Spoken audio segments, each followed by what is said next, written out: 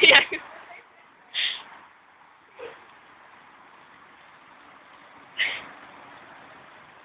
Iets aan de kant. Kan jij weer omhoog?